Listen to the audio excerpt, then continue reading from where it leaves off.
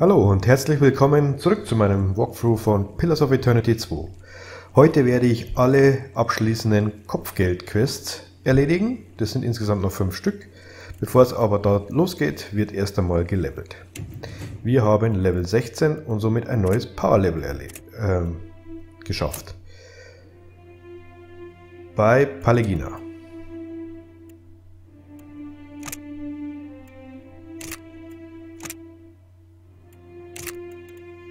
Improved Critical ist auf jeden Fall ein recht wichtiges Skill, aber hier nehme ich die Verbesserung des, des Schildes und den Improved Critical, also plus 10 Crit Damage, äh, den nehme ich auf der Paladin-Seite bei ihr. Und gibt auch noch eine Waffe, gut, irgendwas Neues auswählen. Jetzt nicht mehr so wichtig. Ich nehme hier mal noch die Flail. Refreshing Defense war es eigentlich. Und ich ersetze dann im AI-Skript auch gleich das schwächere Schild mit der Refreshing Defense, beziehungsweise habe es anscheinend vorher schon gemacht. Gut, dann kommen wir zu Remora.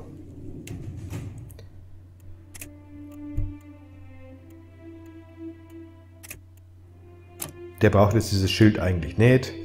Ähm, aber Improve Critical braucht er dann auf jeden Fall und das nehme ich jetzt hier auf der Fighter-Seite.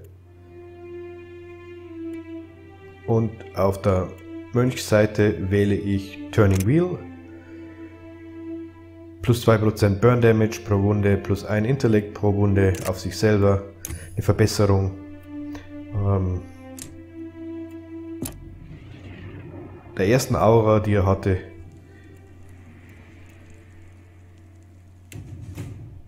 Auch Maya als Multiclass kommt in ein neues Power Level, aber hier auf der Ebene ist wenig zu finden eigentlich. Survival of the Fittest ist sehr, sehr schön. Plus 10 Accuracy gegen Targets, die unter 50% Leben haben. Einfach eine höhere äh, Trefferchance dann. Das nehmen wir auf jeden Fall. Und auch, wie immer bei DPS-Klassen auf dieser Stufe, Improve Critical. Ja, aber hier gibt es dann immer so viel auszuwählen. Ich nehme hier zur Vorstellung der Firearms die Pistole, auch wenn ich sie nicht mehr einsetze. Schauen wir mal, was Alot und äh, was Tekeho hier uns hier äh, noch liefern kann auf dem neuen Power Level.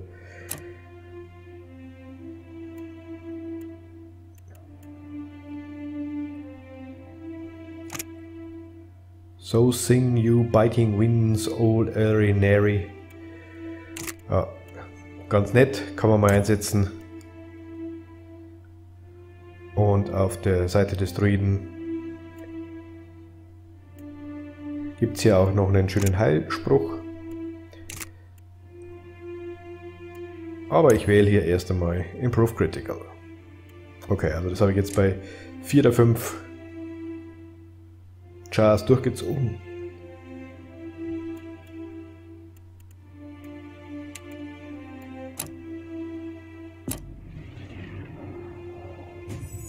Und dann auch noch bei Alot. Yes. Hier kontrolliere ich nur mal ganz schnell, welche Sprüche es schon gibt auf dem Ding. Ich habe hier Wilting Wind und Major Grimoire Imprint. Und nochmal Wilting Wind und die Color Cots Freezing Rake. kontrolliere das einfach nur, äh, damit ich das jetzt beim äh, Level Up nicht wähle, weil ich es ja eh schon aus dem Grimoire äh, zur Verfügung habe, den Spruch. Das ist also den habe ich, den habe ich und den habe ich. Und ich wähle hier die Wall of Many äh, Colors, die ist ganz nett. Die bildet so eine Mauer und wenn einer durchläuft, dann kriegt er ja zufällig äh, einen dieser ähm, ja, Damage und, und, und Effekte. Und auch die Pinoletta Piercing Sigil ist ganz nett. Deswegen nehme ich auch die.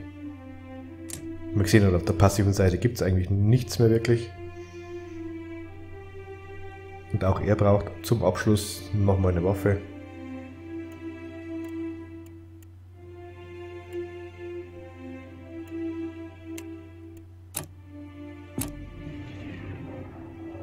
Gut, nach dem Leveln aber jetzt zu den letzten fünf Kopfgeldquest und Barati.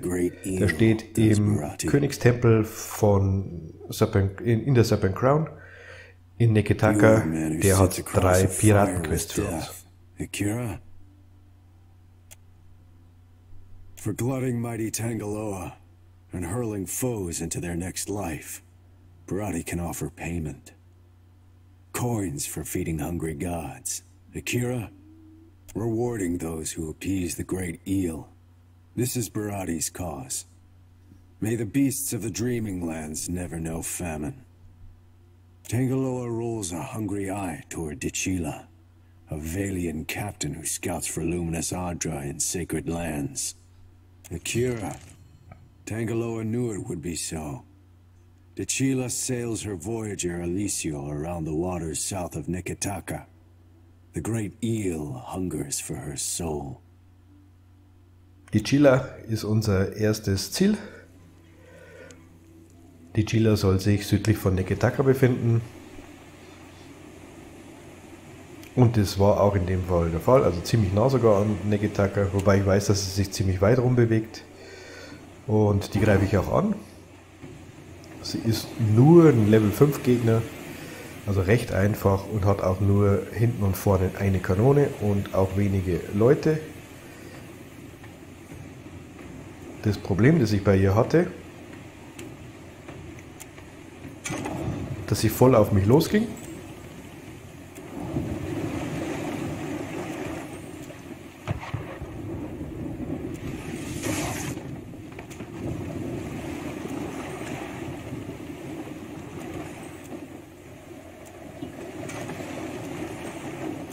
wie man jetzt hier auch schon sehen kann. Sie hat ein verdammt schnelles Boot. Sie kommt innerhalb kürzester Zeit ganz nah an mich ran. Das heißt, ich kann zwar hier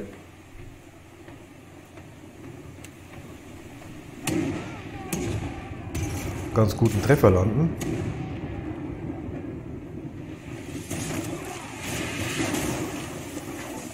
aber schieß halt auch vorbei und habe ihr mit diesem Schuss erstmal nur die Hälfte ihres Lebens weggenommen.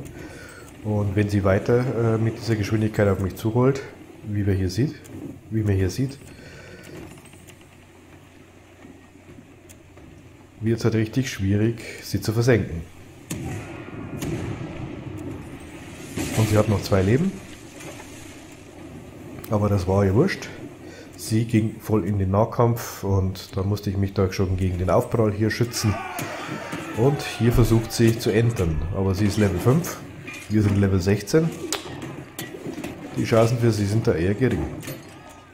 Und ungefähr in dieser Geschwindigkeit ging dann auch der Kampf. Ihr könnt es euch ungefähr vorstellen.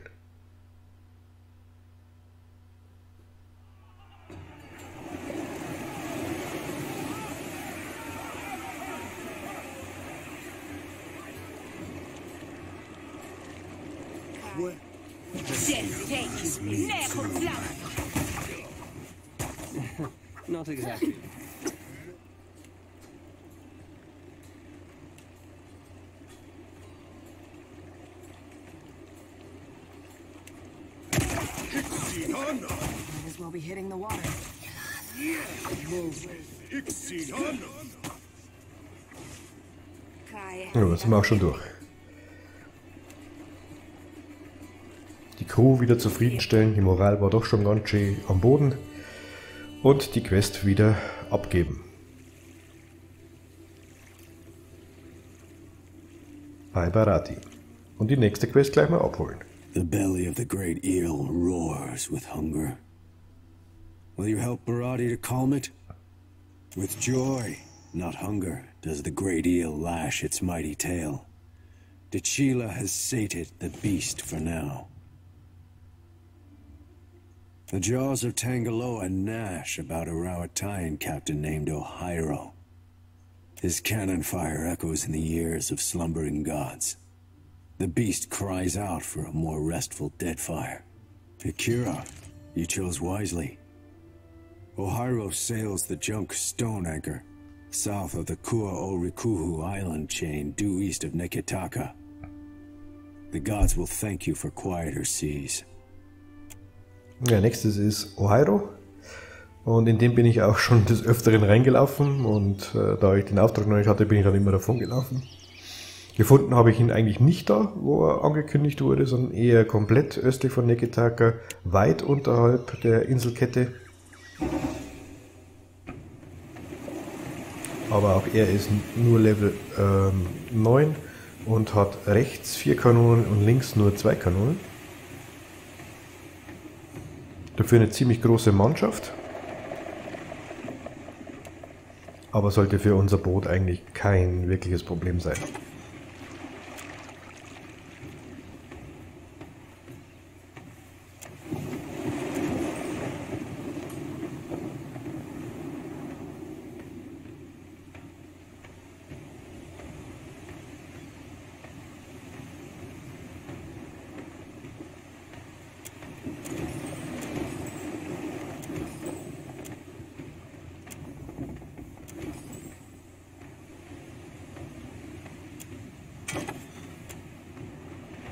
Oh, viermal 100 Prozent.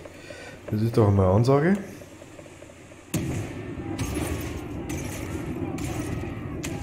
Und ich schieße gleich auf äh, den Rumpf. Volle Kanone. Und über die Hälfte mit dem ersten Schuss schon mal weg. Das ist auch eine Ansage.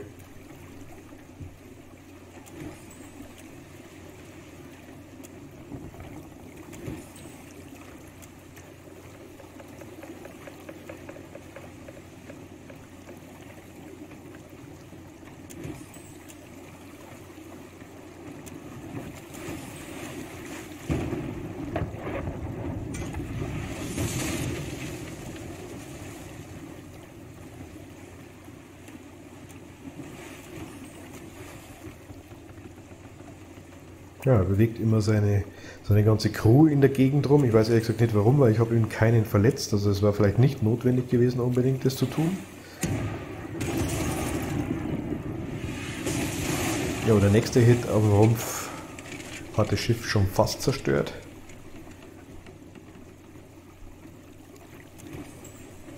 Und der nächste Treffer, ich sag mal mit zwei Kanonen, sollte dann das Schiff auch versenken. Er trifft mich ja viermal. Ganz schön, ganz schön gut.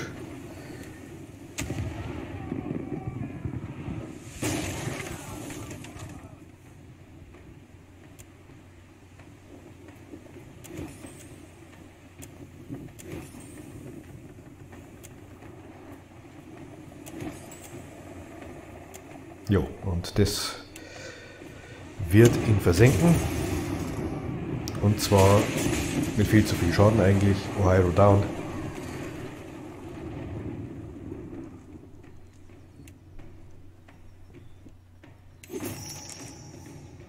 Und die Quest wieder bei Barati abgeben und die letzte der Piratenquests in diesem Spiel holen. The belly of the great eel roars with hunger. Will you help Barati to calm it? Akira, and the seas grow quiet while Tangaloa grows fat on outsider meat. The great eel swims toward Rafik, the Redbeard, but the Principe captain outpaces even the gods. Rafik sinks Juana's ships for joy and plunder. This cannot stand. The great eel licks his mighty chops. No Rafik by his Tao, Siren Song, which haunts the waters south of Cook's Island, northeast of Nekitaka. Kommen wir zu unserem letzten Ziel, Rafik, The Redbeard. Und der befindet sich hier in der, ich habe ihn gefunden in der Nähe von Dunwich, obwohl er angekündigt war, dass er südlich von Crooksburg ist. Also das ist schon sehr weit südlich von Crooksburg. Ähm, er ist ein Level 11 Captain, hat eine Doe und hat drei äh, Kanonen links und rechts und eine einigermaßen übersichtliche Mannschaft. Aber auch er sollte gegen unser Boot. Sind in der Zwischenzeit komplett ausgestattet. Ich habe ihm in der Zwischenzeit auch neue Segeln oder neuen Rumpf gekauft. Ne, das hatte ich zu dem Zeitpunkt noch nicht. Stimmt gar nicht. Was ich gerade sage. Das habe ich erst später dann gemacht. Ähm, Das heißt, der wird einfach keine Chance haben, weil wir einfach zwei Fünftel mehr Schaden machen wie er.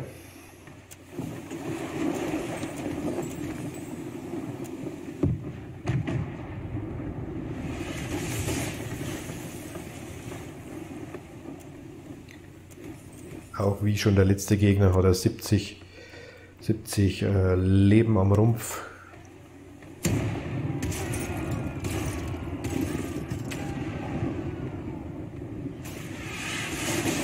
Ja, der Schaden war diesmal eher moderat. Einer hat auch vorbeigeschossen.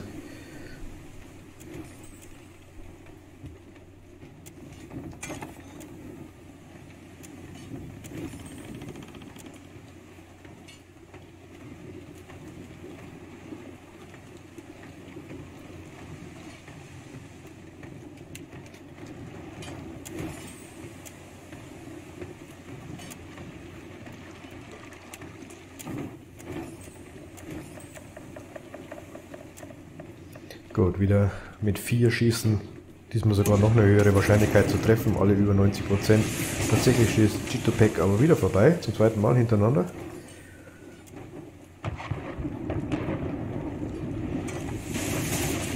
Ja, bei uns ist auch jemand verletzt worden.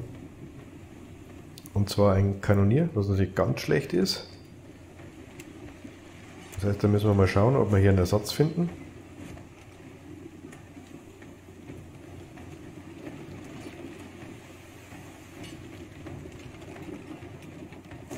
Ich stecke den wertlosen Idioten in diese Position, obwohl er eigentlich überhaupt keine Fähigkeiten als Kanonier hat. Dann, dadurch geht dann die Trefferchance nach unten, aber er hat immer noch eine recht gute Chance.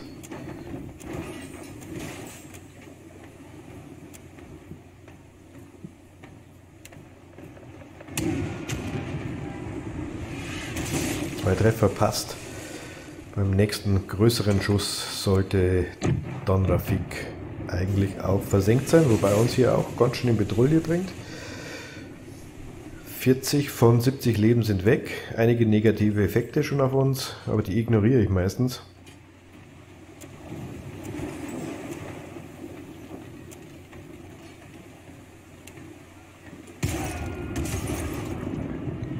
Ja, und das hat genau gereicht, um Rafik zu versenken. Und damit ist die letzte Piraten Bounty Quest erledigt.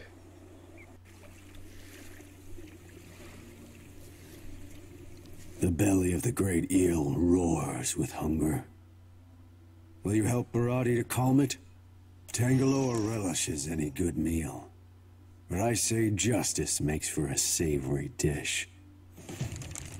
You served up a mighty feast, and the great eel's belly swells. For a time. Until it hungers again, Barati's work is done. Mit Barate sind wir fertig, aber in Serpent Crown gibt es ja noch eine Bounty Hunterin, von der haben wir auch schon zwei Quests erledigt. Aber zwei habe ich noch übrig gelassen und die kommen jetzt noch im Rest des Videos. Die steht außerhalb im Nordwesten auf so einer Plattform und ihr Name war Nungata. What say, Hunter? I have an unusual challenge, seeing as the target is already dead. They call him the Steel Preacher.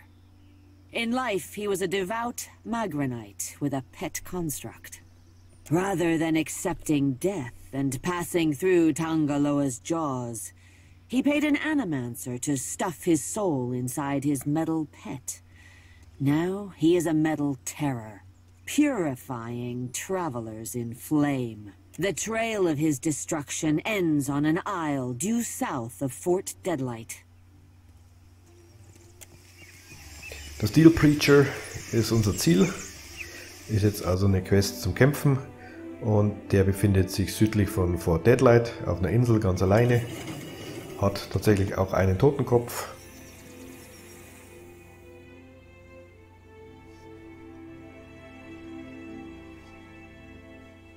Wie immer ist es eine Map, in deren Mitte der Gegner plus diverse Kompagnons warten.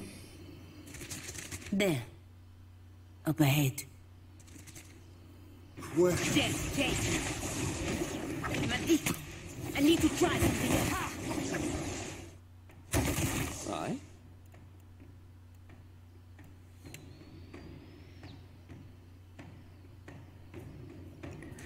Delay, Delayed Fireball von Alot.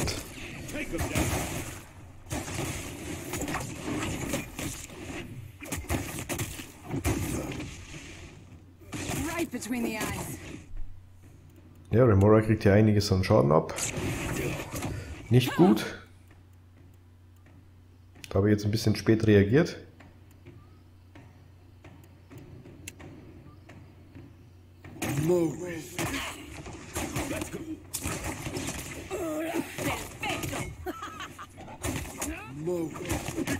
Es sind auch immer noch drei Gegner tatsächlich da. Der Steel Preacher äh, hat noch kaum Schaden genommen.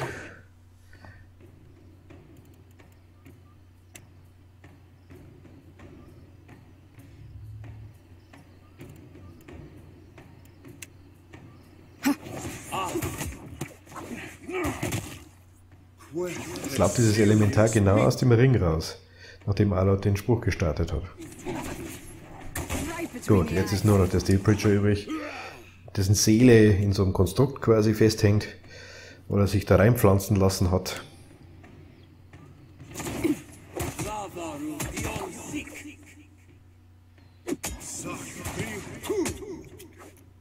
Aber auch er ist jetzt kein zu großes Problem. Remora hat sich auch wieder erholt von dem ganzen Schaden, den er eingesteckt hat. Und da geht der Steel Preacher down. Und die Quest ist erledigt. Mal schauen, was er dabei hat. Sicher wieder ein Unique Item.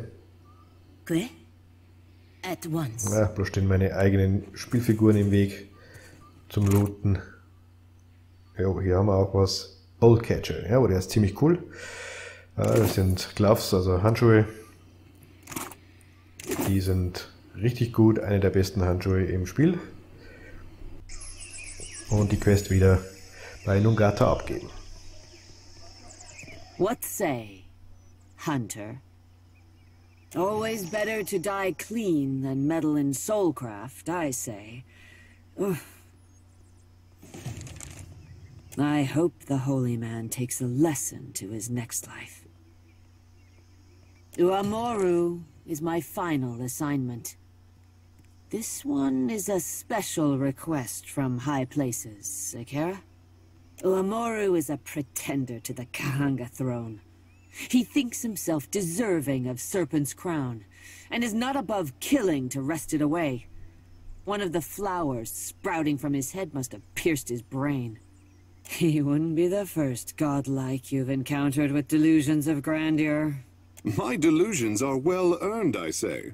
His small but spirited resistance makes port on an island east of Magran's teeth. Steer clear of his lion. They say that beast has a killing bite.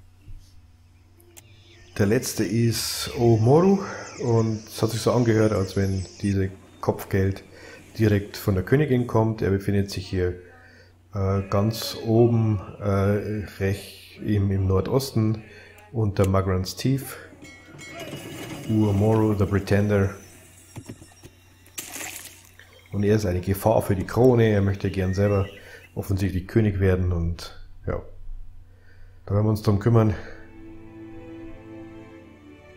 dass der kein Problem mehr ist. Er ist offensichtlich ein Godlike mit einem Löwen-Companion. So habe ich zumindest verstanden. Schauen wir mal, ob das wirklich so ist. Okay, Löwen sehe ich schon mal. I am ready. Uh, there. Up ahead.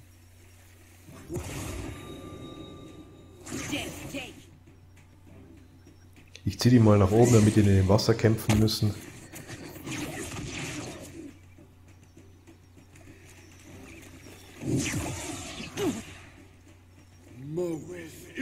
Gut, und der Löwe, sein Companion kommt tatsächlich auch gleich als aller allererste. Plus die beiden Panther hinterher.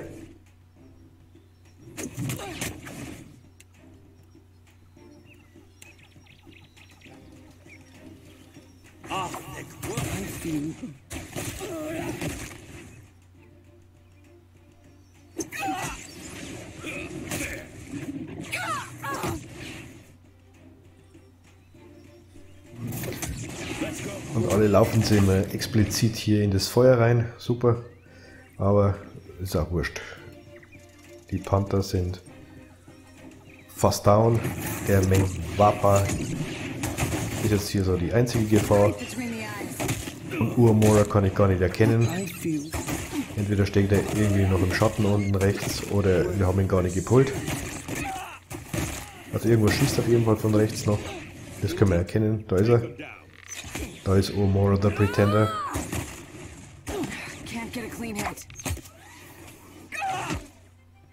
Oh, Palegina. Fast down. Bisschen spät reagiert. Mit dem Heal hier. Schauen, ob er noch rechtzeitig kommt. Uamoro down. Noch drei Gegner.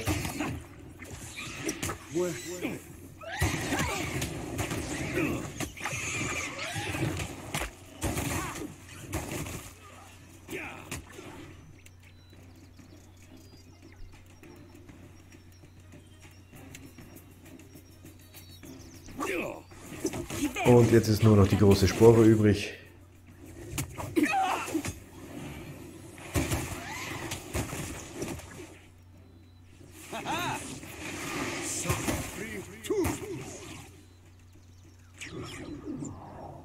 Und da sind wir durch. on it.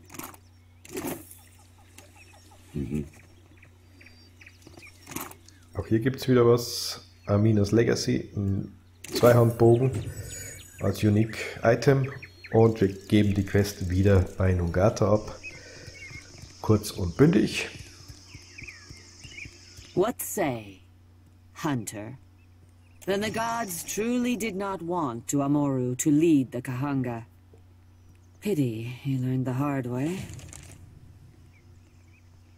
You do good work, Hunter, but the bounties have dried up. That is a spring which time always replenishes in its course, I say. Ja, das war's. Alle Kopfgeld-Quests in diesem Spiel sind zu diesem Zeitpunkt abgeschlossen. Die müsst ihr euch jetzt nicht mehr antun. Ich hoffe, die Folge hat euch gefallen. Wir sehen uns dann zum nächsten Mal. Bis dahin. Ciao.